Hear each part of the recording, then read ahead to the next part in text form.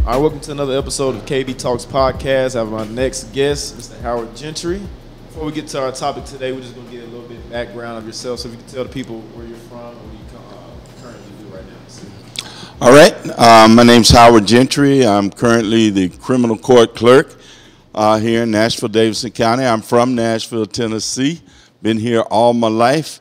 Used to go to a hamburger joint right across the street. And uh, when I was coming up, probably the only hamburger joint I could go to. But uh, uh, yeah, been here all my life, and and that's a long life. I'll be uh, February fourth will be my birthday. I'll be seventy years old.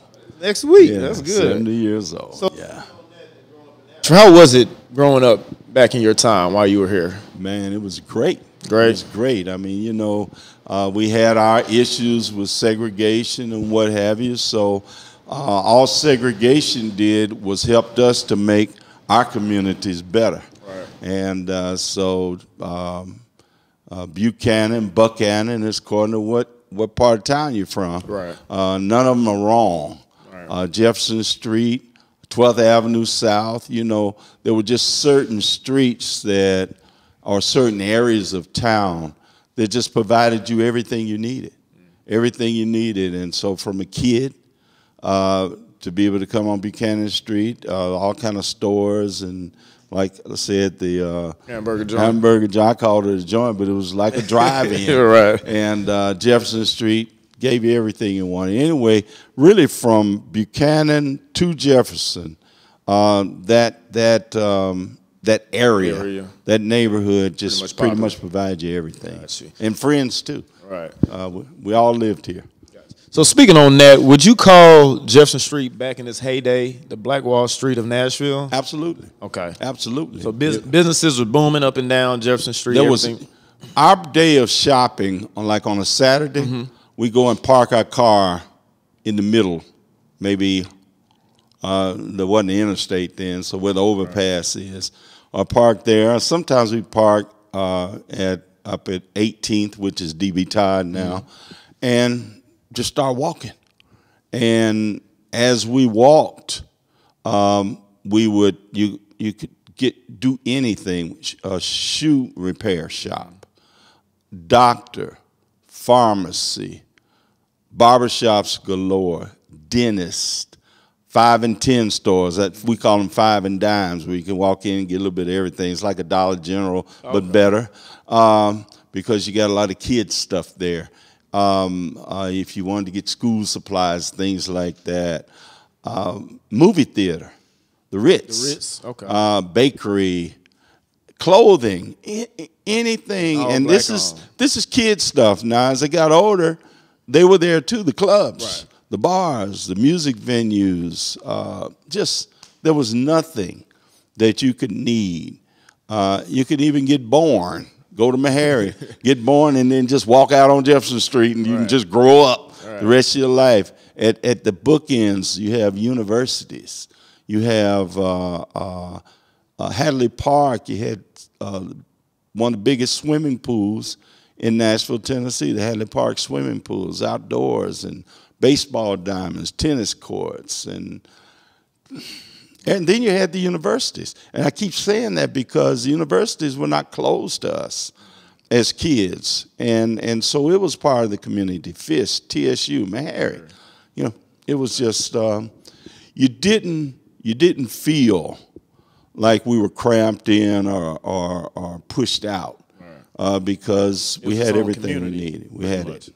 I got you. Did you did frequent uh, famous entertainers uh, come come to this area, perform at clubs? Like, what's some of the experiences you had on Jefferson Street? Like, did you? I've Oh. heard like did Jimi Hendrix just came down here perform. Well, when Di- Jimi Hendrix came, he was a little older than me, but not not really that much. You just knew he was here. Okay. Jimi Hendrix was playing in clubs I couldn't go to when he was coming because I was too young. But you knew he was here. And uh, but our star was Johnny Jones, Mm-hmm. and Johnny Jones taught Jimi Hendrix really how to play that guitar. And so I was able to listen to Johnny until he until he passed. And uh, he was amazing on the guitar. But yeah, the Manhattans, uh, the Impressions, um, Al Jarreau, um, Multiple man, people. I mean, right? Yeah, you can just go into the um, to the club, and, and if you turn down this street and go past um, the school, Hu- is it Hull Jackson? Yeah. Yeah, and once you go down that hole, there was um, a club back off in there with live entertainment, but you couldn't find it if you didn't know it was Where back was it? there. Was And we always remembered it because you had to be careful what you wore because it had neon lights all through it. So if you wore something with a lot of lint, man, you look you look like a sheep walking through there, you know, uh, because. But uh, it, I mean, and I'm just naming some, but you had your local entertainment too. You had your Jimmy Churches and your Tyrone Smith, and um, um, uh, oh man, I, right now it's just everywhere. Right a few doors down was a jazz club, man, where you had local jazz artists that performed uh, all, almost every night. So it was it was, just- a unique place to have all that in one community. Oh, so yeah. you had your adult entertainment, Yeah. speakeasy bars, Yeah. You had stuff for kids, Yeah. You had the university, so you had the college crowd that would come. So I mean to see all that, and you know, once we once of age, once I got here, you know, people my age group, we only saw what half of what Jefferson Street had to offer. And it's kind of weird because when people say the interstate messed it up, all we know is the interstate. Yeah. And, we, and it still looks like a regular Jefferson Street because we not we're not seeing it's not a regular all the Jefferson property Street. that Right. the interstate took up once it was established and built. So that's why I'm trying to, you know, kind of get people to think about like picture a community with, with everything included in it. What you said, like you don't have to leave and it's all black owned. Well, see, what the interstate did, it it, it gutted the the community. It, it gutted of the it. people out of the community. It uh, it was a blatant uh, effort to bring transportation through Nashville without giving any regard to the black community, and as simple as that. And and it almost killed us. It almost destroyed us. And uh, and, and and and Nashville owes us. They they, they gotta. They we can be we can be put back together. Right. Uh, I mean, I see what's happening now, but a lot of what's happening now is because we have young people like you all that care. And so you're coming back to the community, but there, there was no real effort to bring you back. You came back because you love it. right. And, and uh, uh, but, you know, you can't take away the, the heart and soul of a community and, and, and just leave it alone when you see people struggling and fighting to try to bring it back or, or just to keep it alive. And so uh, I just hope for the day when, uh, yeah, there, there are efforts that are taking place, but, but I want to see a plan. I want to see a plan, and, and I have not seen it. You know? Touch more uh, about that later on. Quick question though: during the civil rights movement, what role did Jefferson Street play during the civil rights movement? What was going on in Nashville? Were you around that time? I was around. yeah, I was around.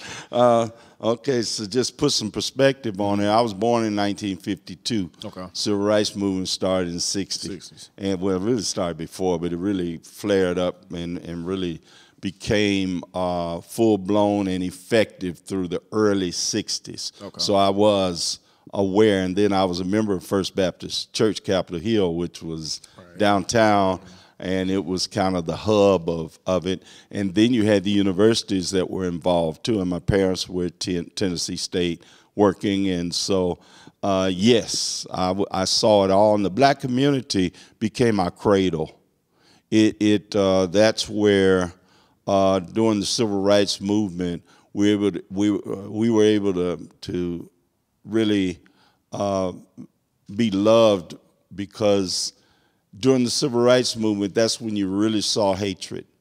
Uh, you know, growing up, you knew about segregation, you knew where to go, not to go. Blah, If blah, you didn't blah. mess with anybody, they didn't mess and, you, you Yeah, but but apart. now all of a sudden the movement starts and up. and people start fighting back, or Mm-hmm. or you talk. I'm talking about the people who who Opposition. feared Right.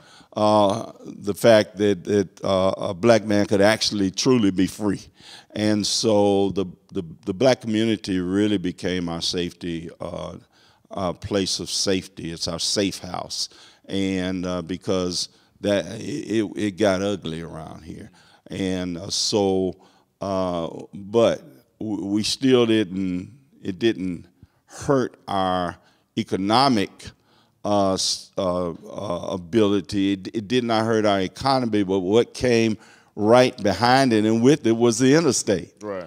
And so, where we're fighting just to be able to eat at the same restaurant or go to the same school, swim in the same swimming pool, go to the same doggone bathroom, they're being put in cutting, they're, they're, they're gutting your community.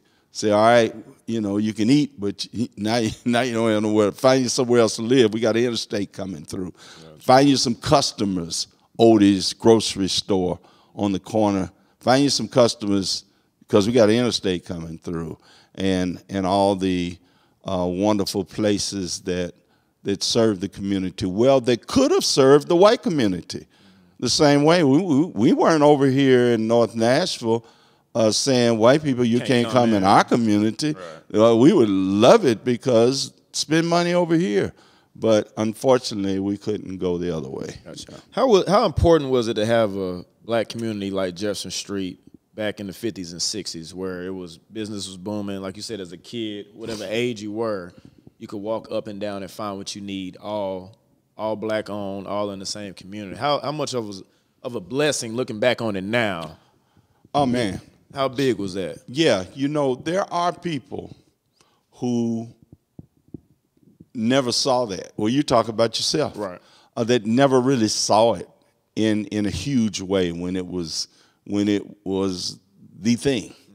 Uh, you see black businesses now, and you say, "Oh, that's great, man. We got a black business here. We got a black business there." But man, to walk up down the street and and your doctors, your lawyers, your teachers, everybody is out there doing it. Prospering. And like a lot of our school teachers, that's what they did. They had little businesses, or even they worked in the businesses to supplement income. And so, just to be able to do everything around people that you know, for generations of people to grow up in the same community, be educated in the same community. See, I got my education just except for a year and a half when I left. From K through master's degree, I got my education in North Nashville. I went to Murphy School. I went to Head Elementary. I went to Washington Junior High, where Pearl-Cohn is now. I went to Head. I mean, I went to uh, uh, uh, Pearl High, which is now MLK, and then Tennessee State. State. I played uh, football for a year, almost two years at Florida A&M, but I got hurt, came back home, and where I belonged, and uh, got my education. But I, you didn't ask me this, but I'm gonna say it. That year, almost two years away, uh, helped me to appreciate Nashville more. When I was at Florida A&M, great school. They had dirt roads all around the campus, all through the campus. In the 70s, they lived in a city that was probably as racist as Nashville, but it was very small. And so, eh, you know, you could see it and feel it a whole lot more.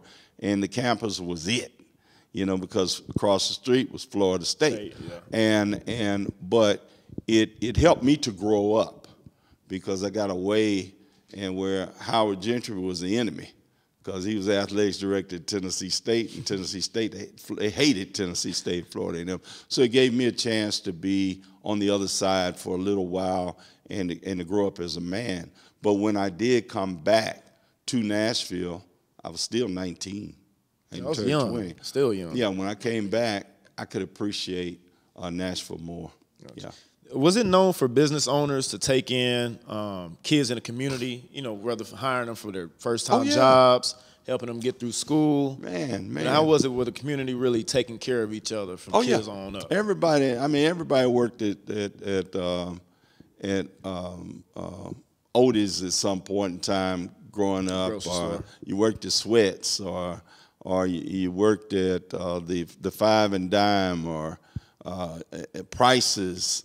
Um, um, the college crib. College crib didn't look like college crib you saw. Oh, okay. College crib was uh, a building on the corner, old house, and uh, Mr. Price, uh, Treachery's uh, uh, uh, granddad, or to all Treachery's uh, dad, uh, Mr. Price uh, uh, would would would would iron on your, your stuff like Your letters your, stuff. letters stuff and and uh, you wait in line for it and but everybody worked in the communities at the restaurants at the at the clubs at the stores. You know it, it was you didn't have to leave your neighborhood to to get a job. And and you could stay in your neighborhood and get your education. You could stay in your neighborhood once you got it all your education and, and raise your kids. I mean, it because you had different uh, levels of income living in the same community.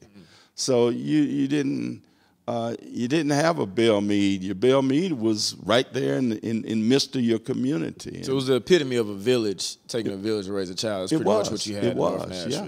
Yeah.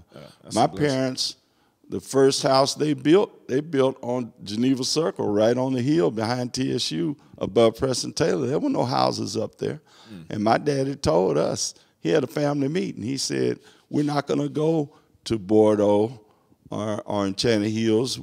We could, but we're, we're going to build our house right in the in the heart of the community, so we can help the community to to improve and grow." And uh, wow, it was a great experience. That's great. Are you familiar with the Capitol Hill redevelopment project uh, that happened in 1952? the the Capitol Hill. Yeah, Mm-hmm. I think- okay. When they moved out the uh, all this the uh, uh, slums from around the, the Capitol and and yes, Okay. Uh, Was that one of the first things where you kind of saw they were kind of head? Because I actually did some research. I didn't know that the city's original plan was to build the interstate toward over there by Vandy and Belle Meade area. Yeah. And then there was an uproar in that community, and the And they city gave its own, gave itself uh, another thing to like, hey, we're not gonna do it over here. We're gonna go towards Charlotte North Nashville. Mm-hmm. And that's when I did the research. I'm like, man, that's crazy. It was originally supposed to be in the Vandy area. Yeah. But then it's it shifted over and here. and then like it could have shifted. Uh, it could have stayed in the Charlotte area and not affected, Affected as many homes, white or black, Right. or businesses. But this was the easiest route, Mm. and uh, and probably the more simple route for construction's sake, but the the the the, the most devastating route uh, for our community. Yeah, because I uh, looked up about the uh, steering committee, the I-40 steering committee. They had uh, Attorney Avon Williams a part of it, and Mitchell, uh, guys that try to fight back against the city's, uh, you know, plan to build the interstate, and it kind of went through Congress. Never really made it up to the court course, but obviously got pushed back for various reasons. So, uh, what was going on? How old were you during that time? I know it, it was built in 1968, but I'm sure stuff had already started happening. Oh in yeah, the they had to cut. the 60s. They had to cut the. Uh, they had to cut through the the the, the, the rock and everything. Start way before then. Hmm. All right, so let's put it like this: When I went to Pearl High School in 1967, okay. I could walk my girlfriend home across Jefferson Street. I'd come up DB Todd, which was 18, and walk her home. Before I graduated, I would have to, to go all the way down to uh, close to R&R Liquor Store and Mary's and come around. Just get to the same spot. Get to the same spot. So look how that affected people. What about the, the, the person that lived on Scoville Street near um, um, uh, the church uh, uh, on, uh, that used to walk across the street to go to the grocery store? That's over with now. No, they got to drive or get a ride and go way down by TSU and come back to get to Otis. I mean, it just um, it, it just cut a hole in us. Yeah, and then they was talking about how the highway displaced 128 businesses was representing like over 80% of black ownership in the city alone. Yes. That's a lot. Now they want to say the highway didn't do it, uh, all 180, whatever. Right. But what happened was when you take the customers away, You can no longer walk to the store and you walk can't back home. walk, you Now can't get there. drive. So it it it affected them and caused them to be able to close. So I still blame it on the highway. and I blame it on the the people that decided that Yeah. it should go. And to some of their credit, some of them did apologize because they could have done it differently. Yeah, but I mean, it's it's it's kind of easy to apologize after everything that's been done after the fact. Well, it's easy to apologize, but it's easier to never say anything. Never say anything. So, so you, you have to, you know, people have to, people have to grow. Uh, by we we grow by our mistakes. It's not now. This is not discounting what they did and saying you know it- it's more than a mistake. That was on purpose, but you know, sometimes people make decisions and they don't think about the effect of that decision because they're not affected. So they they're just out of sight, out of mind.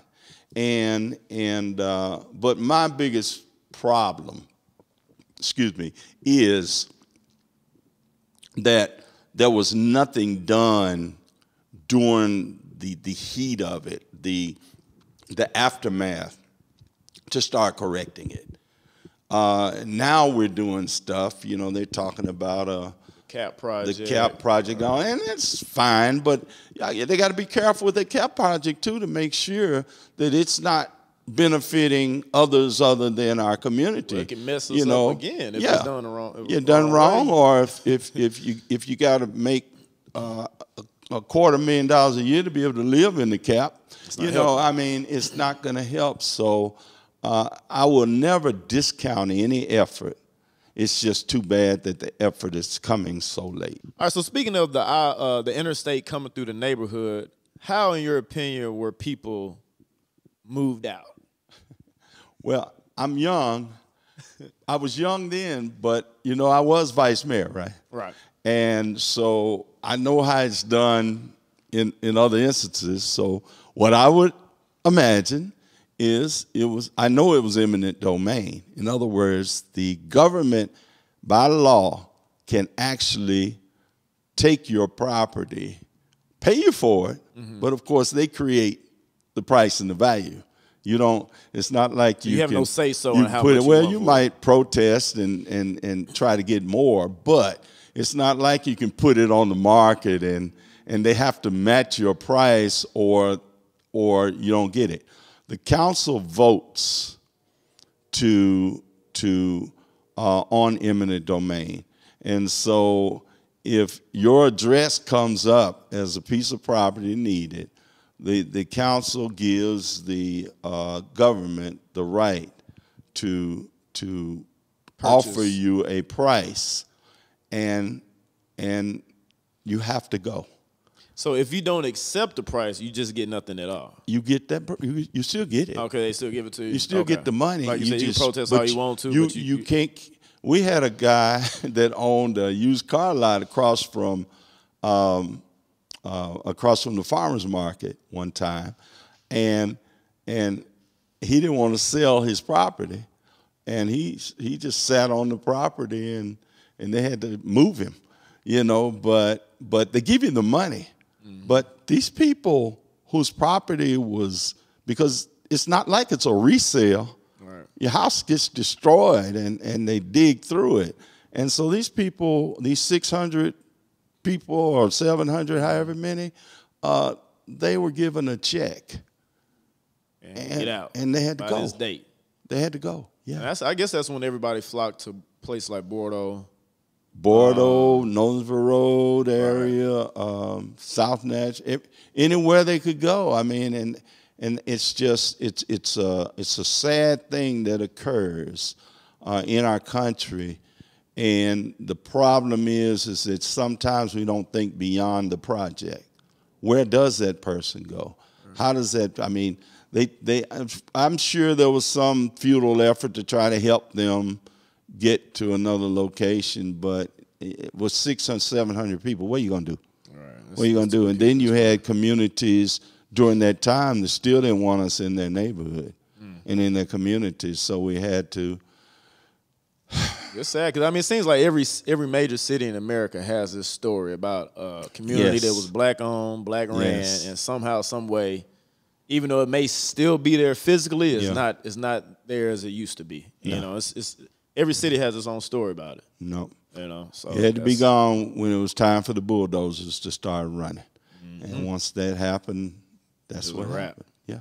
So, yeah, because when you when you look at what happened, you know, with it destroying 620 black homes, 27 apartment houses, six black churches, that's a lot That's a for a community. that's that's Six, that's almost 700 homes, 700 families. Which then you think about generational wealth, property, all that gets flushed down the drain. it's like dropping a bomb. Yeah, basically. in the community. Yeah, when you destroying that much property, 50 local streets, you saw the Removal- devastation of the tornado? Yeah. Worse than that. Worse than that. Worse Removal than of 1,400 landowners, that's Yeah. a lot. And that Worse affects that. generations to come. Yeah. Um, so I know it's, it's been a lot said as far as future plans for Jefferson Street. What do you what do you think as of right now, as today, what do you think the future plan for Jefferson Street is? Is there a plan yet? But they say there just. I I don't Throwing out ideas. uh, I don't uh, I haven't seen just a, a true plan, but what I have seen is people coming in and and improving the street okay. and the and the area. Uh, it's just where I want to see the intentionality is to make sure that those people who already live there can will will will be able to sustain them or uh, they can stay. Stay stay there. They can won't stay. Let's move. put using the, the words that got all the, the letters in it. If that they can stay there, and that they can work there, that they can can be able to live there in the state that they're in, whatever that is, financial, whatever. that that they're able to stay. And, and you can legislate stuff like that. You can create opportunities uh, like that. I see um, developers coming in that don't look like the community. I don't have a huge problem with that as long as they're developing for the community. And and and but I, I but a norm your normal situation, your most trusting situation is when you when you create a, a opportunity for development in the community by people who understand the community, know the people have the best people's interests at heart. and who are vested You know in the community. Naturally, you're gonna have the best people's Yes. interests at heart. Usually, when you, you Yes. look like them. I mean, because new developers could come in, they could be having the same mind state as people who build the highway. It's like, Yeah. what can I get out of the situation now? I'm not thinking 10, 15, 50 years down the road. They're thinking about what, what can they sustain now. Or if they really believe in their heart that they're doing the community a favor, but they put apartment uh, development where they cost you eighteen to twenty five hundred dollars a month. Well, that's great for people that can pay eighteen, twenty five hundred dollars a month, but unfortunately, uh, that's that's not a lot of people that look like the community and and come from the community. So, you know, uh, nothing against twenty five hundred dollars a month if you got eight hundred in there with it. Right. You know, if you got a mix, you know, it's or, or a thousand. Yeah. Yeah, I think it's a shame, man, because you know our generation, for sure, we, we weren't able to to see that um, how Jefferson Street was, how it benefited Fisk, Meharry, Tennessee State. We just heard stories on stories on stories, so you never just really grasp the idea. We just know Jefferson Street as it is now, which is okay. But you know, when you I've told these stories, you're trying to picture. It's hard to picture, you know, all this stuff going on at the same time in the same area. Um, so it's just a blessing to have somebody like you maybe kind of express, you know, how it was, and hopefully our generation, generation can come, can kind of fight for that to somewhere. It'll never probably be the same. Well, it won't be, right, but- right. but- But, kind of just make an yeah. attempt to restore some of it back to community.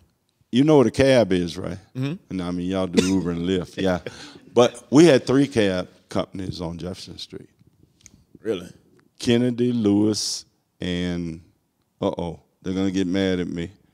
They still around today? Harlem, yeah, So, yeah, uh, and um, uh, also um, uh, had a bunch of funeral homes on Jefferson Street, a few, and it just man, we had everything. I mean, it's just the, I mean, just the dream of of going to medical school at Meharry and then getting your getting your diploma and walking around the corner and opening up your practice, or to be able to do intern or residence, not residence, but intern or, or start with somebody that already has a practice. You know, it's just. And I just I'm thinking now. Uh, took my piano lessons, m- uh, music lessons, just every, it was nothing that you could want that you couldn't do on Jefferson Street. Right, we're gonna hope for the best and hopefully some things happen in the future. I know, like like you said, a lot of ideas are being thrown out there, but it's better to see a plan Yeah. executed the right way uh, for hope in the future. So on that note, man, we're gonna end this episode of KB Talks podcast, Mr. Gentry. We appreciate you taking out your Thank time. Thank you, thank you. And uh, we'll probably catch up with you some some next time, man. Probably get you back on here. But we appreciate it, sir. Have a great one. Appreciate you. Thank you both. All right. All right.